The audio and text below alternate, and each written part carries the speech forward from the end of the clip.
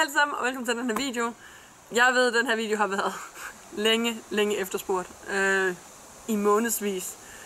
Øhm, og grunden til, at den ikke er blevet lavet, det er, fordi jeg fik ikke købt særlig meget, dengang jeg var i Herning. Så jeg har vel ventet sådan til længere hen på året, og så lavet en samlet haul af alt muligt, jeg købt.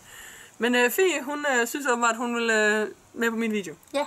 Fordi at øh, Fie, hun køber ligesom mig efterhånden aldrig udstyr. Nej. Men så fik hun lige købt en masse, og så synes jeg, Så at øh, gik det galt.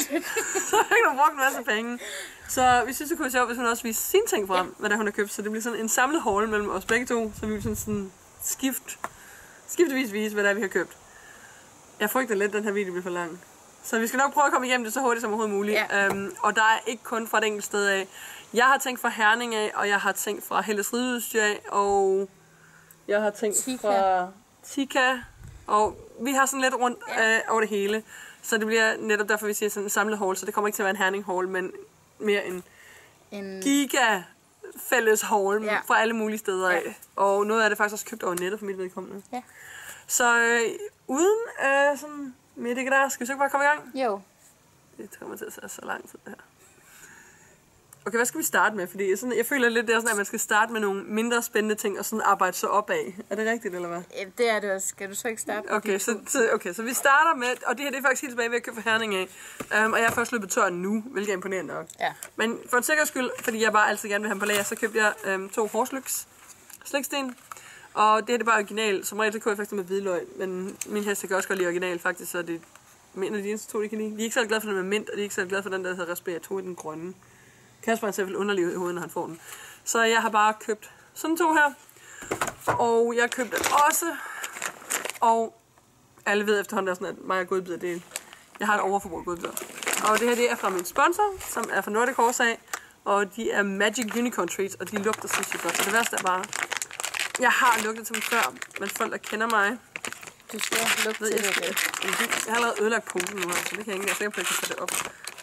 Det har jeg allerede ødelagt. Jeg, Der var der ikke både noget med jordbær. Der var og- noget med... Nu skal jeg se, hvad var det, det var? Ja, jeg husker, det var med. Jeg mener, det var med jordbær, det ene. Og det ikke hvorfor. Jeg ved ikke, hvorfor jeg synes, det er så fascinerende at lugte det. Mm. Vil du have? Nej, tak. Og så godt lugter det alligevel ikke, hva'? Ja, det dufter der. Ja, det dufter dejligt. Men jeg- Min heste kan også godt lide dem, så Men jeg har ikke lyst til at spise en. Jeg har faktisk spist. Det smagte ikke særlig godt. så får du lov til at tage det næste. Ja. Og jeg vil lige sige hurtigt, vi sidder udenfor, så hvis det begynder at regne, eller det blæser meget, så kommer det til at ske. Ja. Men øh, Jeg, det er spændende, jeg, det jeg der. købte en svedeskraber, fordi det mangler jeg. Det er rigtig spændende, og vi er allerede over vaskesæsonen, så det er godt, du var ude i god tid. Det er simpelthen så flot. Eller noget. det var, det var den, okay, det var den første spændende ting. Så det er det, vi snakker Vi skal starte med mindre spændende ting. Okay. Skal vi tage noget mere spændende ting? Ja. Jeg købte nu, når vi er i Herning. Jeg købte et underlag. fordi købte jeg et underlag. Ja. Det var faktisk noget af det første, jeg købte her, fordi jeg synes, det er mega pænt. Noget, som er mit yndlingsmærke. Ja. SD Design. Jeg kan normalt sådan faktisk... Jeg har kun deres jeg. I hvert fald, som jeg rider med. Men ja, jeg købte ved SD Design, eller det var ikke deres stand. Jeg kan faktisk ikke huske. Hvis der er, I spørger, hvad det er, jeg købte hende op, jeg har ingen anelse om det. Fordi det var simpelthen så kaotisk på det tidspunkt, og det er så lang tid siden. Men jeg købte ved en stand, i hvert fald, hvor der er de her SD-ting. Og det er op i hovedet på dig. Det er et springunderlag. Og det er i farven, hvad er det, det hedder? Jeg kan ikke engang se det. Et eller andet, der hedder Green Jade. Og jeg synes, det er mega, mega flot. Der er faktisk ikke engang særlig meget glitter på. Der kommer nogle nye.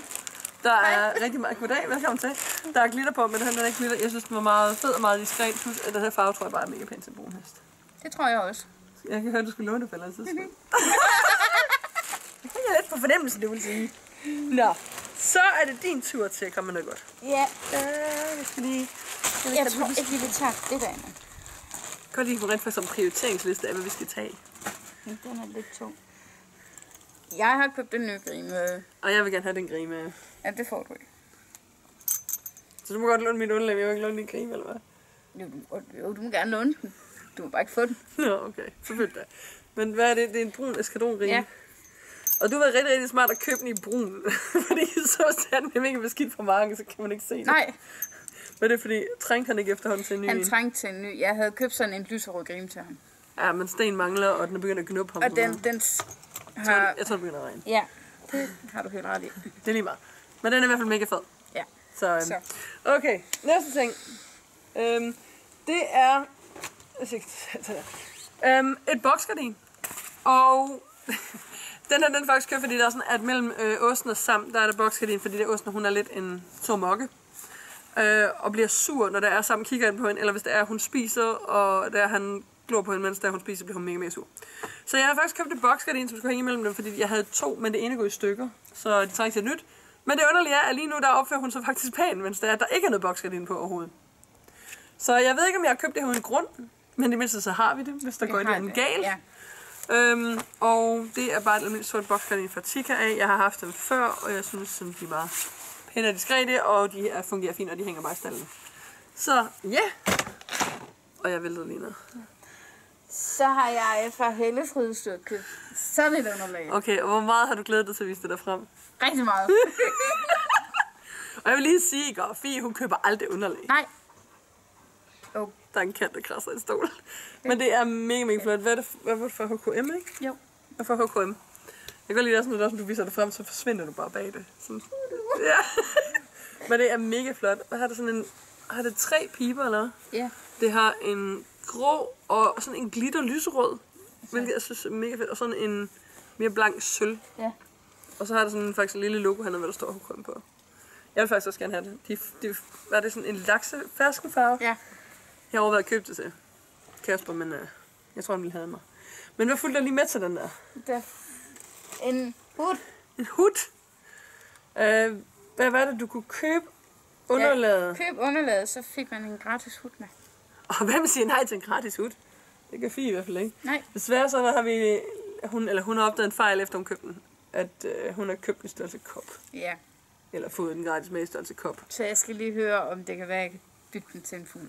Men vi snakker bare om det, sådan, selv i kop synes vi, den ser faktisk ret Den stor ser ud. ret stor ud, så vi ved ikke, om Og der er det... elastik i ørerne. Ja. Jeg synes stadigvæk, du skal prøve, om du kan få den byttet, fordi din hest er ret stor. Han er gigantisk. Men ellers kan det godt være, jeg synes ikke, han har så stor øre igen, så det kan godt være, han kan passe den. Det Men kan godt være. prøv at finde ud af lige, om den kan Ja. byttes. Men øh, sådan det. Øhm, jeg fik købt... Øh, rigtig tung. Øh, et dækken til Prima. Og vi er faktisk sådan lidt i tvivl om, hvilken størrelse hun bruger. Ja. Øh, hun er lige blevet målt nu til 1,67. Det vil sige, hun er samme højde som osten. Hun er stadig kun 3. Ja, det er din datter, vi snakker om. øhm, så hun vokser altså over sin mor. Øh, og vil vokse endnu mere. Jeg gætter på, at hun bliver, hun bliver i hvert fald over 71. Det tror jeg også. Fordi hun er stadig meget høj bag til, så hun vil vokse endnu. Rigtig høj Så er det sådan lidt, hvilken størrelse bruger hun? Og jeg købte en 145 til hende i regndækken, fordi hun havde ikke noget øh, regndækken. Hun har faktisk ikke noget dækken overhovedet, fordi hun er gået i løsdrift, men fordi hun er blevet ældre, og hun skal trænes mere, så har hun fået et regndækken. Men det er din 145, som sagt, og jeg aner ikke, om hun skal helt op i en 155. Nej, Jeg tror ikke, hun er langt nok endnu til en Nej 155, det, det, tror jeg heller ikke. Men, men jeg tror, det kommer. det kommer. Hvor Øh, skal op i og de eneste 155. regndækker, vi havde, øh, som hun har haft på, og sådan noget, det var en 135. det får han ikke skruet ned i. Den kan man ikke passe. Så øh, jeg har købt simpelthen et grønt regndækken, som er en af de nye farver fra Tika af. Og det er fra Horses, og jeg har flere af dem her, og jeg er rigtig glad for dem. Øh, ja, det var sådan set det. Øh, jeg håber, hun kan passe det. Jeg har ikke prøvet det endnu. Så jeg er lidt spændt på, hvordan, øh, hvordan det kommer til at gå. Og Fie, hun synes, det er rigtig sjovt, for hun har købt et man Ja, faktisk altså 165. Skal jeg ikke, din hest kan ikke skrues ned i en 145. Nej, jeg har ikke engang prøvet. Det kunne være sjovt. Øh, Jeg, jo, jeg kan godt lægge den på, men jeg kan ikke lukke den. Om halsen. Så Du har købt en man til. ja, i størrelse. Kæmpe stor. I størrelse kæmpe stor. Jeg kan godt lide, at, sådan, at din hest bruger større dæk, end Kasper gør. Ja, Ja, men så han det er altså også Han er noget større. noget Bredere. skrumlet. Det sagde du selv. I virkelig lige skal selv sige det. Ja, jamen, det gjorde du også. okay, den næste jeg købte, det var faktisk ude ved Helles Ridestyr, og jeg elsker det her køb. Fordi at, at finde ridebukser til mig er ikke en nem ting. Og jeg får, jeg får, jeg er heller ikke til dig sådan. Jeg får ridebukser en gang om året. Og det er til min, enten til min fødselsdag til jul. Det er da jeg får ridebukser, fordi det er sådan, at normalt har jeg ikke råd til selv at give den pris, der er, de her ridebukser, de koster. Øh, det kan jeg lige så godt bare sige, fordi altså, de koster over 1000 kroner, og det har jeg ikke råd til at give normalt. Det er ikke lige sådan, at jeg bare lige kan undvære 1000 kroner en måned. Så. Men jeg har købt to ridebukser. Det ene er, det mærke jeg sværger til, det er fra Montar. Alle mine ridebukser er fra Montar, og jeg elsker simpelthen ridebukser fra Montar. Det var i den størrelse, jeg plejer at bruge. Og øh, det var til 500 kroner. Ja. Det var mega billigt. Um, jeg tror lige, vi skriver alle, um, som jeg plejer, alle priserne ned ja. Ja. i kommentarfeltet eller beskrivelsen, fordi jeg synes, det er en god ting. Men ja, det er et par navy ridebukser, som er sådan nemlig diskrete, med et lille bid på med sten, og jeg synes, det her detalje var mega nuttet. Det er nok nuttet. Og så er der grip på, fuld grip, øh, som forestiller faktisk små hestesko. og jeg har ikke de bukser. Nogle bukser har jeg nemlig faktisk to af, fordi det er så svært at finde til mig, så nogle gange har jeg to par af det samme. Men jeg har aldrig haft dem her før. Ikke den her model, så den er rigtig cute, og jeg er enormt glad for den. Og det næste par, det er faktisk fra Equipage. Jeg har aldrig haft Equipage før. Du har kun nedbukser fra Equipage. Jeg har aldrig haft det her før. Øh, jeg synes faktisk, det er ret godt, men jeg skal have et bælte i forhold mig Ja. Fordi ellers så sidder de... Jeg har også en mega underlig ryg, som er sådan meget konkav, den går ind af. Um, men den sidder rigtig, rigtig langt op bagpå. Øh, hvilket jeg synes var sådan lidt sjovt, fordi det gør dem da ikke. Det er jo en helt anden model, dem her. Men de sad faktisk stadig rigtig godt, og det er så sjældent, at, det er, at jeg kan finde ridebukser, der passer. Og de koster også 500 kroner. Så jeg har faktisk for et par pris normalt fået to. Ja. Så det er rigtig godt. Og dem her, de er bare sorte. Og så vidt jeg ved, så er de sådan højtaljede. Og så... Ja, jeg har altid synes, at det er de lille små stigebøjler. jeg ved ikke hvorfor. Det, det synes jeg også, det gør. Nå, okay. Godt nok, så er jeg ikke helt alene. Nej, jeg synes også, jeg det tror ikke, det er meningen. Men i hvert fald. Og så står der også sådan logoet ekipage her på siden. I sort, meget diskret. Så jeg har både fået et par i sort og et par i navy. Ja, Og det var meget tiltrængt, fordi jeg slider alt gribet af på mine ridebukser. Og så Ja. har det meget svært at sidde, jeg er meget svært at sidde fast, når det sker. ved Helles har jeg købt gamasjer. Katago. Må vi jo se, om jeg får dem brugt. Nej, det tror jeg, jeg gør. Du har brokket over, at du havde nogen Rider by Horse. Ja, som der er rimelig gået i stykker. Og du ville gerne have nogen, der var nemmere at sætte på. Og Ja. som... Du, har ikke, du mener ikke, de, de skrabede lidt på ham, eller hvad? Så du bare har nogen, der var lidt... Jeg vil have nogen, der var lidt anderledes også, fordi jeg har kun haft de sorte der. De er sort. Ja, men Ja, der de andre, der jeg har. Ja, så nu har jeg købt nogle... Altså jeg vil lige sige, at jeg er faktisk ret misundelig på det her køb. Nej, du må låne dem. Jeg synes bare, de er su- super fede, dem her. Ja. Mm, Skal vi tage dem ud? Så folk Det tror jeg ikke, du behøver. Fordi jeg tror faktisk godt, man kan se dem, hvor der er sådan, der bare er logo på. Men de er almindelige bare sådan sorte i det. Men selve prisen var faktisk rigtig, rigtig god på dem, synes jeg. For, Ja. for et helt sæt. Det synes jeg var en rigtig god pris. Så jeg synes, det er mega cool. Okay, øhm, skal vi tage et underlag mere? Ja. Jeg har kørt aldrig underlag. Jo, snakker om. Øhm, det her har jeg faktisk købt brugt. Øhm, og var sådan lidt... Hvor mange gange gik jeg frem og tilbage til det her? Det gjorde du faktisk ret mange gange. Ja. Og du stod og kiggede på det ret mange gange, indtil jeg sagde, så køb det da. Det er hende, der sagde det. Jeg- Du sagde, jeg skulle. Ja, jeg sagde, du skulle, fordi du gik. Øhm. hvad? Ved du hvad? Fra, vi så, fra hun så det første gang, til hun stod med det i hænderne, der gik der en halv time. Undskyld, jeg kunne bare ikke beslutte mig. Nej. Okay, de fleste ved stadigvæk, at jeg har en forkald for RBH. Jeg solgte rigtig meget af mit RBH, dengang Kasper han fik gigt, fordi det er også sådan, jeg fik ikke brugt alle sættene så meget, som jeg gerne ville. Så jeg har ikke så meget RBH mere, og specielt ikke dressur. Jeg har mest stadigvæk i spring. Men jeg har, der var nogen, der spurgte, om jeg lavede en RBH-video, men jeg har slet ikke nok til at lave en video. Øhm, det her, det er en ældre kollektion efterhånden, og der er ikke, det er fra Nordic af, så de har ikke, øh, der er ikke den normale plade på, der plejer. Øh, Nordic-pladen, den sidder faktisk, nu skal jeg simpelthen, den sidder her, den er lille bitte, bitte plade. Men jeg har altid synes, at farven er mega lækker, og det kostede er det 155 kroner brugt. Ja. Øh, og normalt der koster de omkring de der 500 kroner, og Ja. det gjorde det også dengang den kom ud. Og allerede dengang den kom ud, jeg fik den ikke dengang. Jeg fik øh, sådan en meget lys grøn. Og synes, det var mega pæn, som jeg også var dum nok til at sælge. Og nu fortryder jeg det lidt. Men jeg ville helt gerne have haft den her, men jeg fik den aldrig. Og til den her pris, og jeg synes, det var en rigtig fair pris, og det var en, en underlag.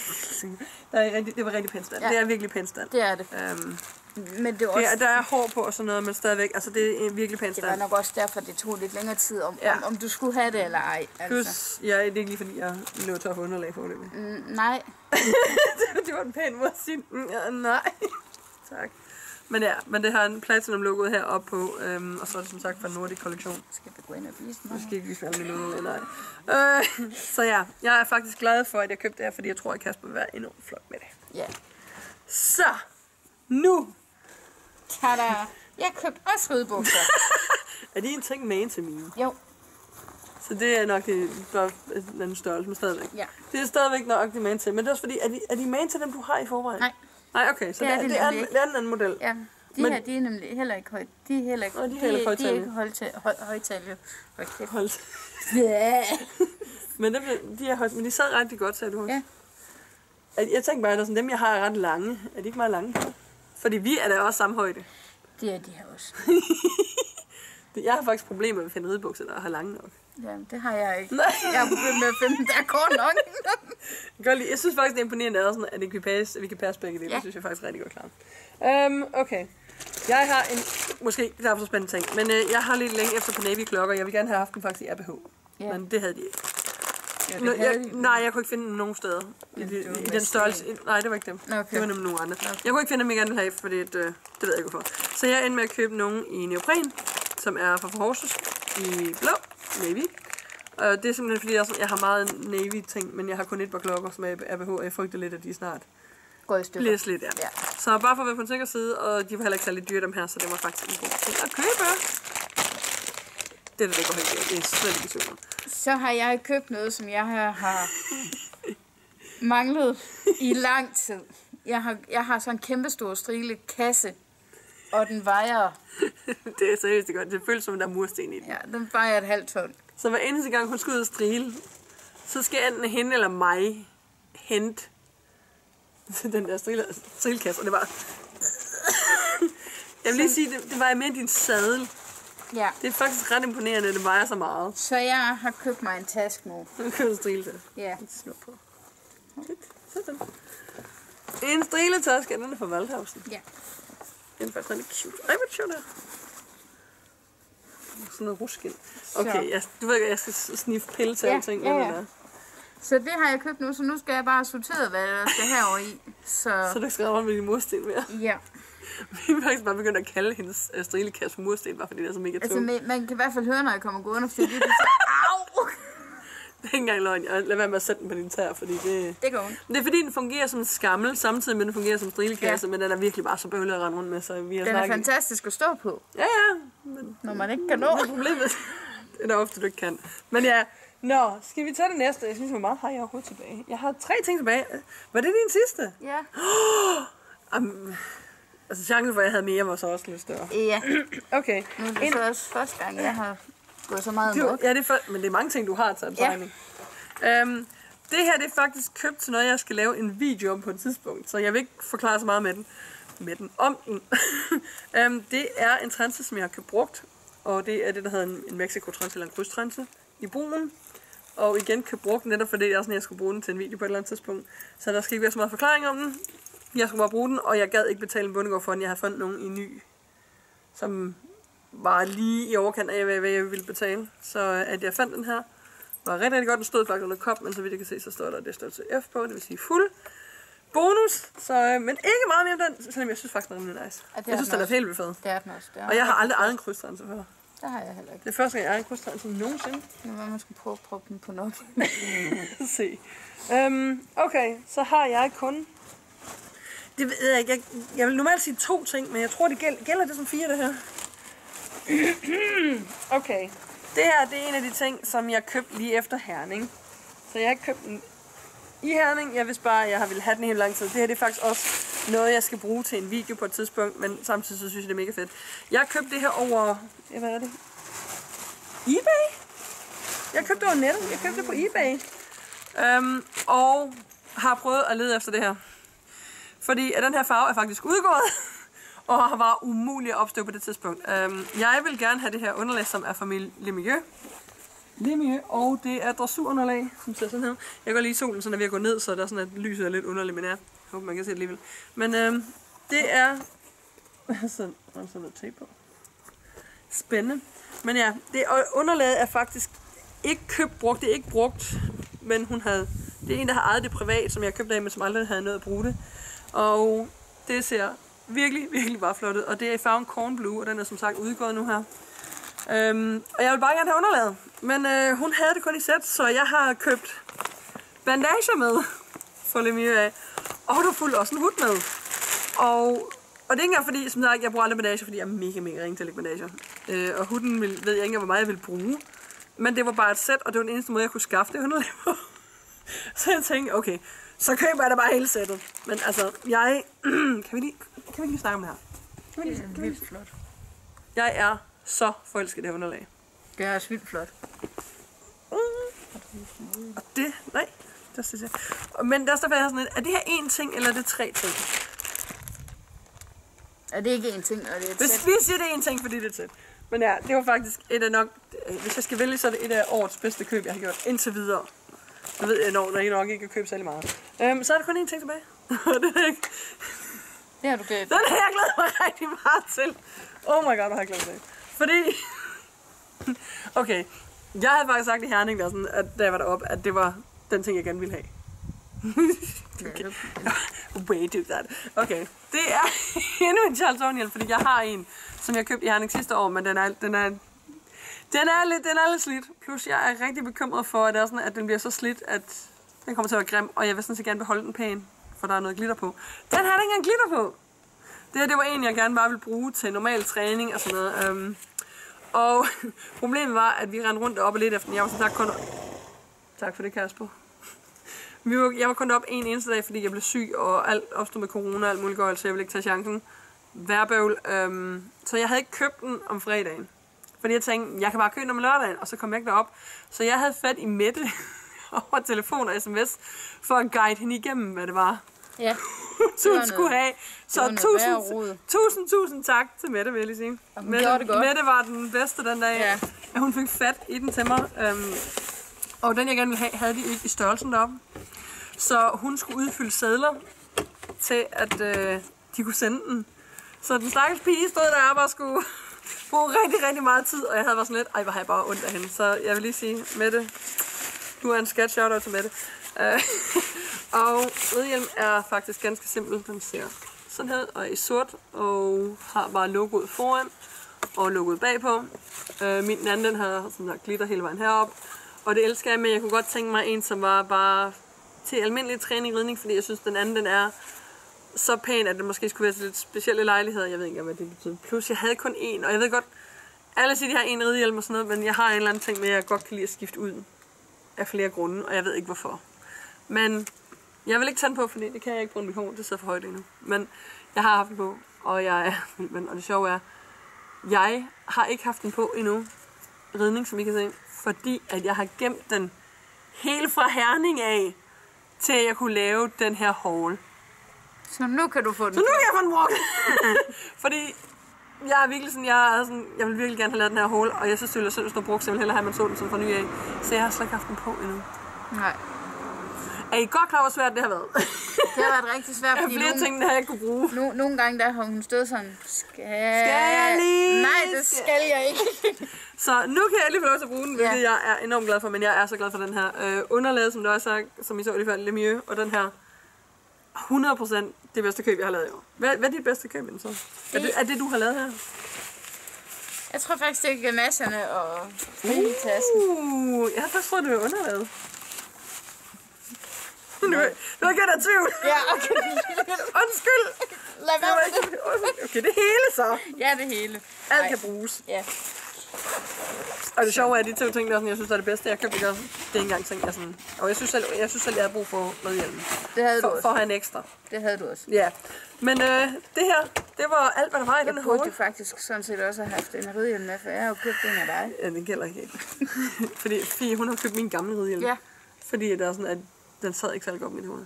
Jeg har en mega underlig form hoved. og, og den jeg havde, den sad ikke særlig Nej, godt. den sad ikke godt på dit hoved, men øh, det her, det var alt, vi har købt. Jeg er Ja. spændt på, hvor lang den her video bliver. Men øh, igen, skriv lige priserne ned i kommentarfeltet.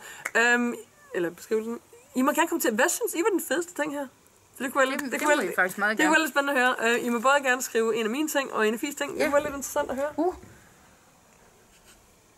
Ja. Det fik vi vist dog. Jeg elsker, Fie reagerer på mine heste, de hopper. Det er bare Kasper. tak til at afslutte Kasper video med at fnyse på den. Min hest er så dygtig. Ja. Men uh, tusind tak, fordi I så med, og jeg håber, at der var nok ting. Så, der, var der var nok ting. Der var vist Men vi har nok. virkelig, jeg har virkelig ventet på den her, Ja, så jeg vi. håber, at I har syntes om den her video, og så ses vi bare i min næste video. Hej hej.